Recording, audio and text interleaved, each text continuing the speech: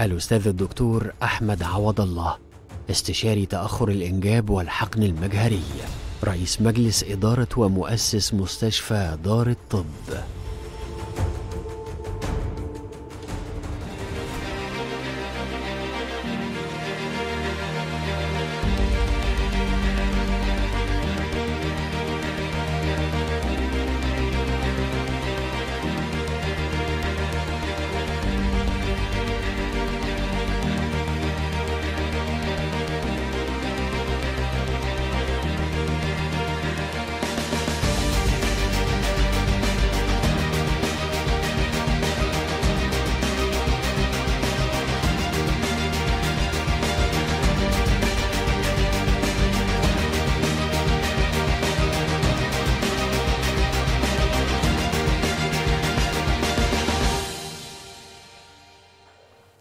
أهلا بكم. تأخر الإنجاب فيه قصص مثيرة للغاية قصص تحتاج إلى فهم وتدقيق. حقيقة إن بعض ال couples في تأخر الإنجاب يقفوا أمام مؤشر اي ام اتش والاي ام اتش ده اختصار لحاجة اسمها anti-Müllerian hormone وهو مقياس من مقاييس ال lab لتحديد كفاءة المبيض. كتير من الحالات أنا عندي أسئلة كتيرة جدا بتدور حول ال AMH إحنا عايزين نعرف هل فرص الإنجاب موجودة لما يكون ال AMH ده كذا. فهل حقيقة ارتباط الحقن المجهري بهذا ال AMH حقيقة واقعية نسبيا أم أن هناك خفايا حول هذا الأمر الذي يعبر عن طبيعة المبيض؟ ولماذا كثرت حالات تأثر المبيض أو فشل مبكر المبيض أو إرهاق المبيض بشكل مش هنقول فشل عشان برضه بتضايق الناس لكن إن أنا أشوف بنت ست سنها مش كبير وعندها المبيض ليس في جودة ليه, زادت هذه الحالات؟ ولا هي موجودة وإحنا اللي بدأنا نكتشفها بشكل آه، أكثر؟ هذه جزئية من أجزاء كثيرة ستكون في حوار مثير اليوم مع ضيف العزيز الرائد القدير لعالم الحقل المجهري ال- والمؤسس المميز لواحدة من كبريات الصروح الطبية الموجودة في مصر المتخصصة في تأخر الإنجاب. ضيف العزيز القيمه الأكاديمية الكبيرة الأستاذ الدكتور أحمد عوض الله استشاري وأستاذ تأخر الإنجاب والحقل المجهري رئيس مجلس الإدارة المؤسس لمستشفيات دار الطب العريق. أهلا بك يا دكتور أحمد. ازيك منورني. سؤال تحديد جنس المولود في كذا سؤال عليه فأنا عايز أفهم يا. ريت. آه تحديد جنس المولود. عايزين نفهمه بقى يعني يعني نشرحه. قيمته إيه العواقب التطور اللي حصل في هذا العالم. لا يوجد تطور في هذا الشيء. أنت تريد وأنا أريد والله يفعل ما يريد. نسبة حدوث الحمل من هذا الإجراء هي نفس نسبة حدوث الحمل من الحقن المجهري في سيدة بتدور على العيال. أكتر ناس عملوا فصل للأجنة للذكور وإناث في تاريخ الطب في مصر وفي كل مكان في العالم هو إحنا. وأنت ترى في هذا الشيء عجب العجاب. وعشان كده هو حلال 100% اعمل اللي نفسك فيه. لو هتحمل هتحمل لو تع... لو لا- لا رد ربنا. لو هتحمل هتحمل. آه. أوكي؟ باختصار هو لقاء بين البويضة والحيوان المنوي خارج الجسم. لا يوجد طريقة بيها تنقي الحيوان المنوي اللي هيعمل حمل في ذكر من أنثى. تفحص الأجنة بعد لما تنقسم. تاخد خلية من كل جنين على حدة. تفحص الخلية لمعرفة إن كانت ذكر من أنثى. مفيش حاجة اسمها ستات. هتلاقيني بص عشان أنا عندي معلومات كتير أوي في الموضوع ده. فهتلاقيني بجيب لك معلومات من مفيش حاجة اسمها راجل ما بيجيبش عيال ما بيجيبش ما بيجيبش. إلا بنات بس. ومفيش حاجة اسمها ست خلفتها بنات. مفيش حاجة كده. مش حاجة اسمها كده خالص. آه. خالص. آه. الحيوان المنوي هو المسؤول عن الذكور من الإناث. الحيوانات المنوية ممكن تبقى واحدة ست عندها سبع بنات. سبع بنات. وتعمل الفحص ده يطلع كل الأجنة المفحوصة أولاد. ما تسألنيش إزاي. ال- وممكن واحدة ست يبقى عندها بنت واحدة تقعد تعمل الشغلانة دي مرة واثنين وثلاثة وأربعة وعمرك ما تشوف في الفحص ولاد. آه مفيش حاجة الحيوان المنوي الذكري هو حيوان منوي أضعف من الحيوان المنوي الأنثوي. بس لا يمكن يعني إن إحنا نجيبهم نفرقهم البحث العلمي مفيش بحث علمي اتعمل في الموضوع ده البحثين اللي اتعملوا كان حاجة اسمها ال sperm sorting وهقول لك ده إيه وأكلات معينة. الأجندة الصيني والكلام من ده ده ده, ده طب بديل.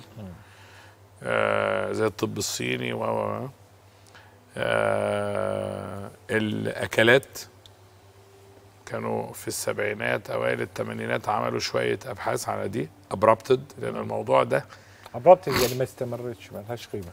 آه، الموضوع ده فيري سنسيتيف في المجتمع الأوروبي وفي أمريكا.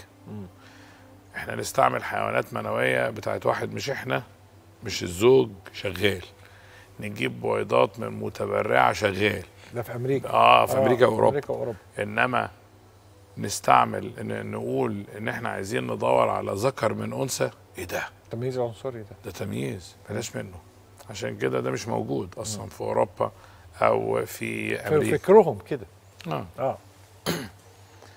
آه فأنت النهارده لو لو لو بتدور على إنه تختار حيوان منوي ما تختارش.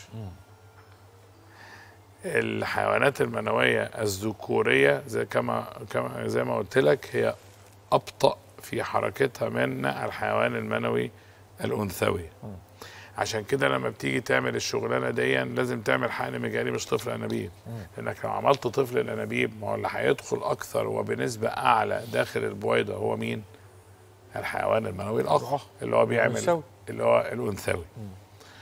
أتى إلى الطب منافق أفاق اسمه رونالد إريكسون في يوم من الأيام عمل حاجة اسمها sperm sorting technique في أواخر السبعينات أوائل الثمانينات واستمر هذا الشخص اللي هو القلب من gradient اللي هو يعني زي ما بيقول centrifugation آه بطريقة معينة.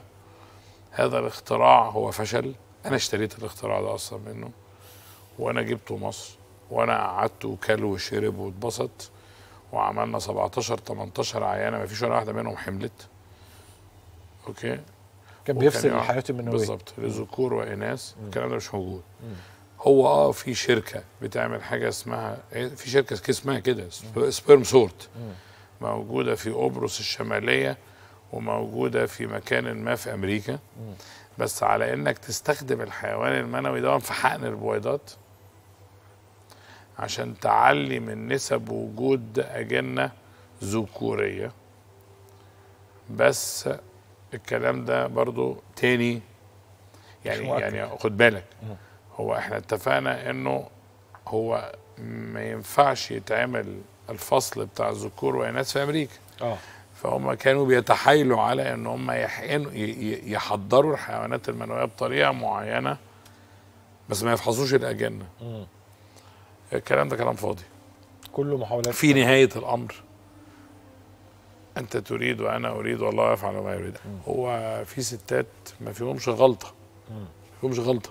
ما بيحملوش وفي ستات كلهم مشاكل وبيحملوا.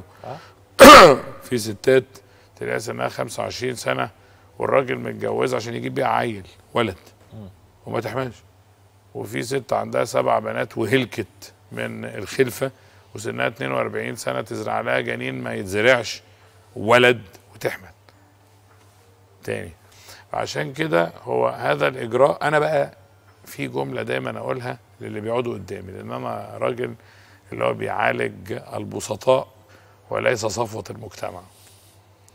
إن كان هذا الإجراء سوف يقتطع من قوت عيالك اللي قاعدين في البيت ينعل ابو الخلفة. كت ليه؟ لأن في ناس بقى بتروح تبيع آه، أرضها وفي ناس بتروح تبيع البيت اللي هم ساكنين فيه بتاع العيلة في القرى والأرياف يقول لك أنا عايز ولد. ويتداين لإخواته عشان يجيب عيل ده كلام فاضي. ده كلام فاضي فعلا. نورت وشرفت شكرا. ضيفي العزيز القيمة العلمية الكبيرة والاسم الرائد في عالم الإخصاب المساعد الأستاذ الدكتور أحمد عوض الله أستاذ واستشاري تأخر الإنجاب والحقل المجاري ورئيس مجلس إدارة المؤسس لمستشفيات دار الطب. أبدع في واحدة من أرقى حلقاتنا على الإطلاق ونهاها بجملة مهمة جدا جدا. أنا بكررها وراه إذا كان أي إجراء من إجراءات الإخصاب المساعد ستطع أو سيؤثر على حياتك بالسلب بشكل أكيد وسيؤثر على أسرتك بالأمان والاطمئنان فبلاش منه. بلاش منه لأنه هيكون نوع من أنواع إيه، يعني زي ما بيقولوا الإلقاء إلى جزء من التهلكة. بلاش ده. خليكم دايما مع ناس الحلوة.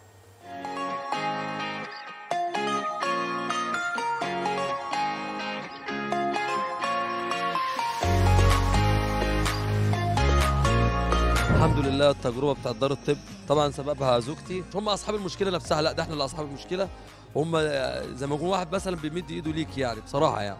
وسبحان الله ربنا كرمنا الحمد لله. وحسينا الموضوع كان مع دار الطب حاجة كده حاجة سهلة. تحس إن إحنا بقينا حتة منهم أو أهلهم أو هم أهلنا يعني. هي بصراحة تجربة كويسة ونجحت من أول مرة.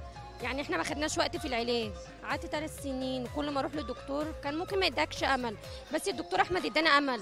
وسبحان الله اللي هو قاله لنا هو اللي حصل. هي العملية هتنجح والحمد لله نجحت. معانا طفلين توأم ولد وبنت. بجد بجد إحنا بنشكر الدكتور أحمد وكل الدكاترة اللي شغالة تحت ايديه